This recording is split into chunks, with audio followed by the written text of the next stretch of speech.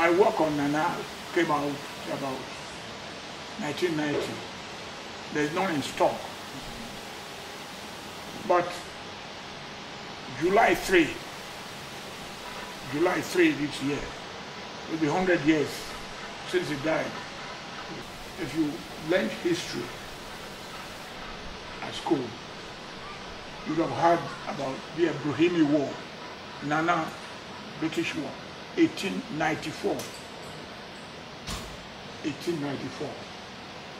You can imagine that's Nana's palatial residence before the Ebrohimi War.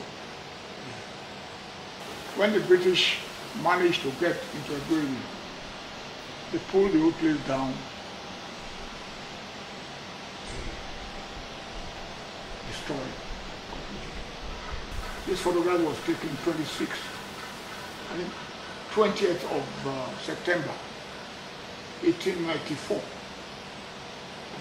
about 122 years ago, and see cannon fire. You know, one, two, three, four. Cannon fire from the ships, and one, two, Nana's cannon fire. Nana was uh, taken away. When he was vanquished, was taken away, sent to Accra. He was in Calabar two years and then Accra 10 years.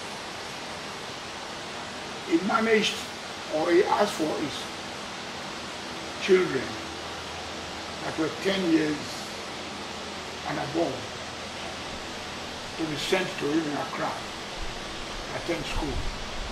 So they were graduating in Accra Government School, November 13, 1906. That's Nana's son and two nephews. They were graduating standard seven, government school Accra.